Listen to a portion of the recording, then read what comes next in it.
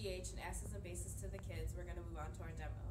So before handing out the materials and starting the demo, we're going to explain to the kids about safety and how safety is important when working in a lab and that you should never consume or eat any of the materials and handle them carefully.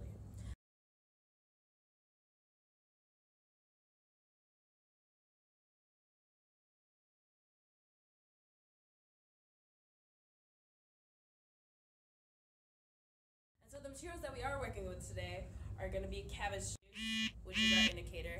And just to make this, you'd chop up cabbage and boil it with water, and then you'd preserve the juice and strain out the solids.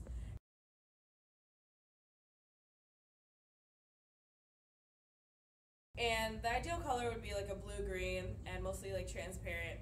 And if your cabbage juice indicator is too dark, you could just dilute it with more water as you feel necessary.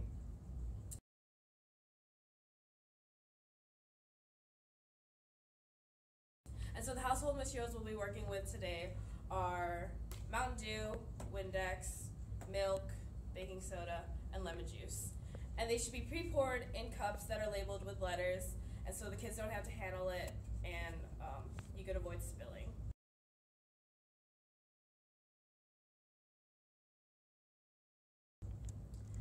And so before actually doing the experiment, on the worksheet, the kids should make predictions about the materials and if they're acids or bases.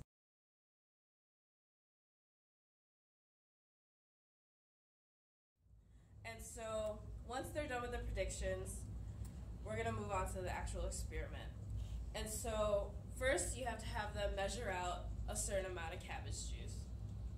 And so cups should be pre-drawn on with measuring lines and they just have like a pitcher or another cup filled with cabbage juice, and then they could do the measurement up until the line. So they get an exact amount of cabbage juice per each sample.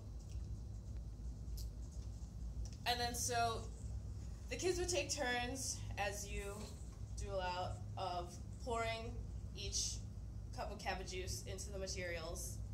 And then so they pour it and observe what happens. So with each color change, they would record it then on the worksheet per material. So Mountain Dew is sample A, and they would record that Mountain Dew turned a pink. And then they'd go on to proceed with the rest of the materials and record the color change as they go.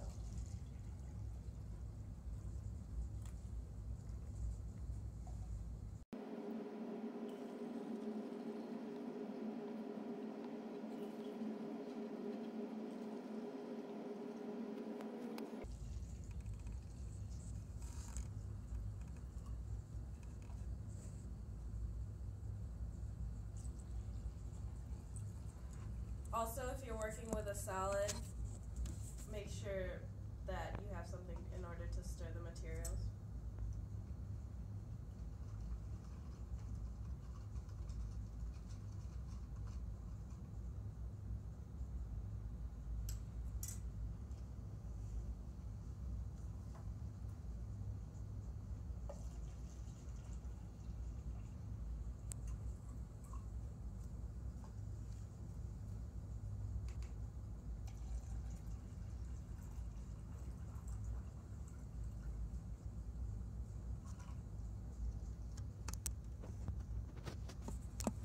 And so after the kids have gone through all the cups and all the materials, um, they'll be able to figure out the pH based on the meter we put on the worksheet.